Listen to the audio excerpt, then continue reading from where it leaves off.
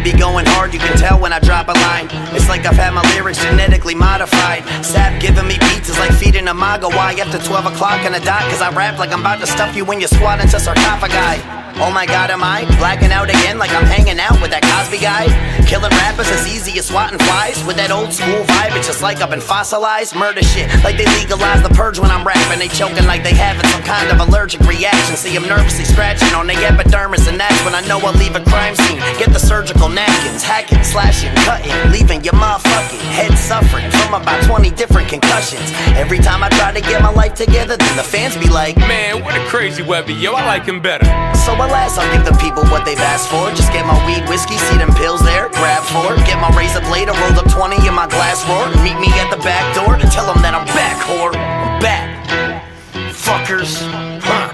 Let's go. I can never be what you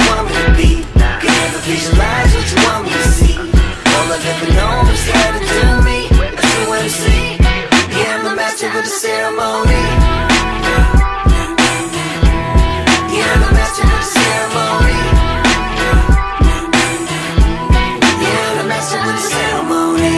A new rap song with Miley Cyrus. Sorry, I don't buy it. This is hip hop, but now we are fucking. Fucking surrounded by this rap popping these bottles and twerking it right on